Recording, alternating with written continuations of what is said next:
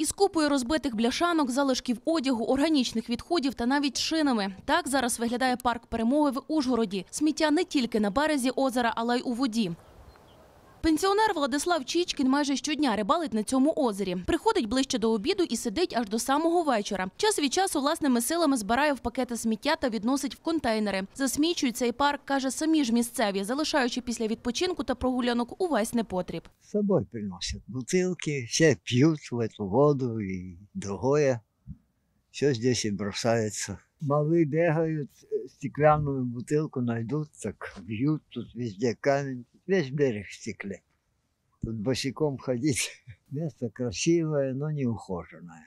Поруч озера Кирпічки, дві школи та з десяток багатоповерхівок. Іншого зеленого простору у цьому житловому кварталі нема. Щодня тут прогулюються сотні містян. Сміття тут усюди. У воді шини від коліс, бляшанки, пакети на деревах та під ногами. Тут ніхто нічого не убирає.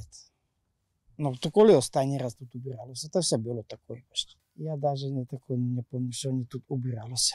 Звичайно, що ні, але просто що е, я, я не знаю просто до кого то звертатися, кому, кому це щось казати. Ну, Люди просто звикли до цього. Дуже гарне місце. Це би можна могло бути таке справді паркове е, якийсь осередок, але напевно є хтось такий, хто не вкладає в це серце. Із 2007 до жовтня 2018 року парк перемоги площею у 8 гектарів орендувало кілька приватних підприємців. Територія була поділена на три частини. Згідно з договором, орендарі мали доглядати за ділянкою навколо озера, прибирати від сміття, косити траву та обрізати дерева. Проте майже нічого з цього переліку не робили. Тому вже кілька років поспіль містяни та активісти виходять на суботники та прибирають так звану кірпічку. Але купи мотлуху з'являються знову вже за кілька тижнів. Ініціативна група Кірпічка, е, вона е, вже десь 10 років там господарює.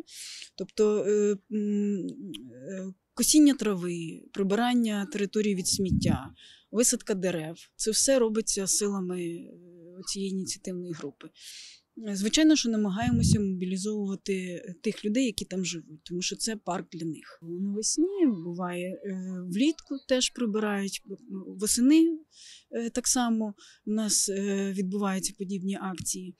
Е, Як правило, звичайно, приходять одні і ті самі, але є е, такі групи людей, які от самі самоорганізовуються і приходять і прибирають. Територія Кірпічки на балансі міськради. Аби зробити тут рекреаційну зону для містян, за якою доглядатимуть, потрібно небагато об'єднати три земельні ділянки в одну та зробити проектно-кошторисну документацію із детальним планом території, каже регіональний координатор інституту Республіка Микола Яцков. Чи можна зараз інвестувати кошти, якщо говорити про, про інвестиції у парк, то поки що це передчасно. Чому?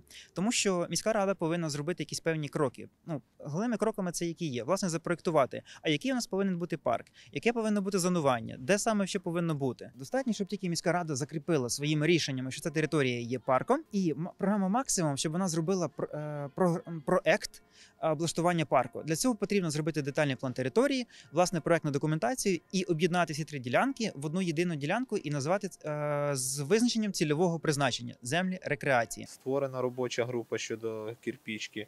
Е, Надано нам розрахунок, скільки буде коштувати детальний план. По розрахунках в районі 280 тисяч гривень. Чекаємо підписання договору з проектною організацією, виділення коштів е, для фінансування детального плану. Паралельно е, хочемо зробити якісь ескізи, що ми могли би там бачити. А поки волонтери та місцеві жителі планують генеральне прибирання території і закликають долучатися. Переконані, навести лад бодай зі сміттям можна і власними силами, адже відпочити тут, особливо навесні, охочих чимало. Христина Гозда, Андрій Ніколаєв, Сіріус Ньюс.